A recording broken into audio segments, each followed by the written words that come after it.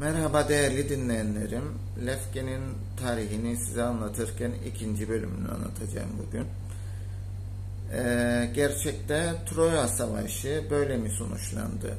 Troya atı ne kadar doğru, Domabron şehre böyle mi girdi? Bütün bunlar hep efsanelerle günümüze ulaşmış, tartışılan konular. Ama Atina kralının oğlu Domabron'un var olduğu Troya Savaşı'ndaki kahramanlıklarıyla Yunan tarihine geçtiği ve diğer Yunan sitelerinin ordularıyla birlikte Troya'yı yağmalayıp yakıp e, yıkanlar arasında bulunduğu bir gerçek.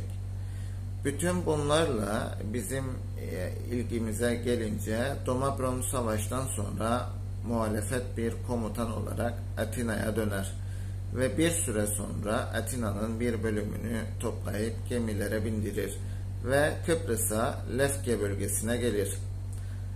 Atinalılar Lefke'nin 3 kilometre kadar batısında Soli ile Bağlıköy arasında bir e, tahkim edilmiş arazide güçlü savunması olan bir şehir kurarlar ve adına da Apia koyarlar. Apia'nın e, kuruluşuna baktığımızda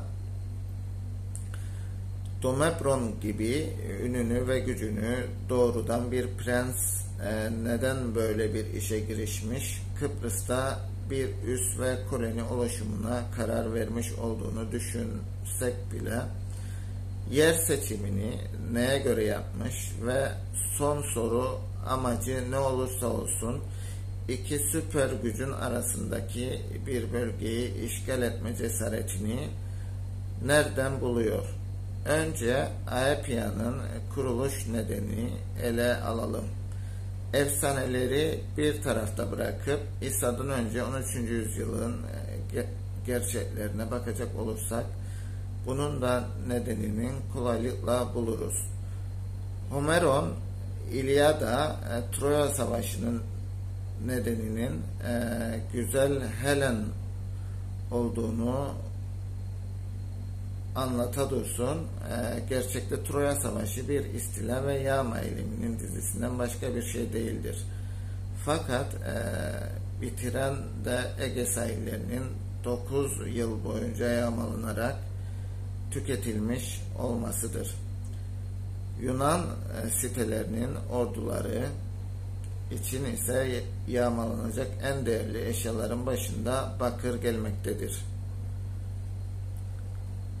Bunun nedeni bakırın o yüzyıllarda savaş teknolojisinin temelini oluşturmasıdır. Söz konusu yıllarda savaş araç gereçlerinin önemli bölümü tunçtan yapılmaktadır. Zırhlar, kalkanlar, kargılar hep tunçlardan yapılır. Tunç ise %90'ı bakır ve %10'u kalaydır. İşte Lefke'nin kaderini belirleyen sihirli formül. Gözünü yükseklere dikmiş bir krallık. Önce güçlü bir ordu kurmak zorundadır. İhtiyaç duyduğu askerleri bulabilir, onları eğitebilir ama gerekli askeri donanımı en önemli sorundur. Krallık ne kadar zengin olursa olsun ihtiyaç duyduğu bronz yani bronzun ham maddesi e, bakırı kolaylıkla elde edemezdi. Bu kadar değerli bir e, metalin üretimini kontrol eden büyük devletlerin aynı zamanda onun satışını da kontrol altında bulundurmayacaklarını düşünmek saflık olur. Sanırım şimdi Apia'nın kuruluş nedeni anlaşılmış oluyor.